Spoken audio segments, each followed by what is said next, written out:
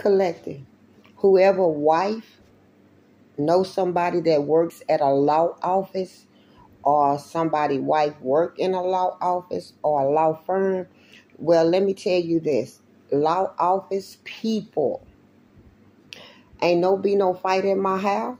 Ain't going y'all ain't gonna start shit with me. Y'all gonna give me back what y'all took from me. And I know about the hidden murder. See, the murder, I've been it's been I've been saying this, but this is for you that at the law office. I was this is for you.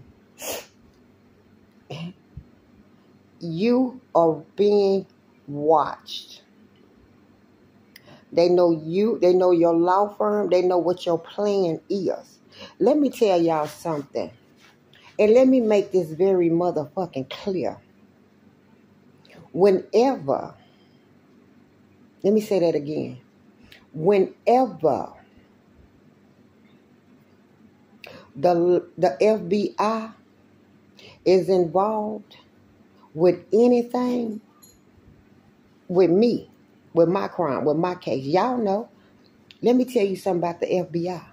When the FBI go look, see the FBI ain't nothing like the motherfucking uh uh po- uh the police that in your county. No, the FBI is the motherfucking one. Understand me?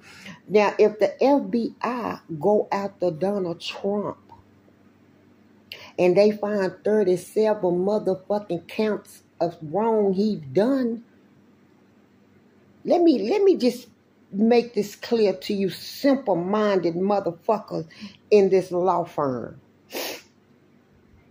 Do you know the FBI is on y'all?